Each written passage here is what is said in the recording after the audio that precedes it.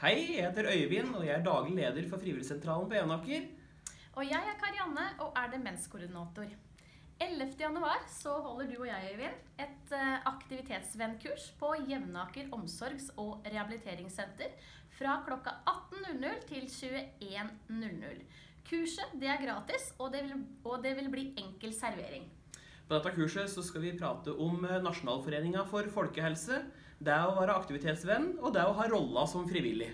Og jeg som fagperson skal snakke om demens og om samhandling og kommunikasjon.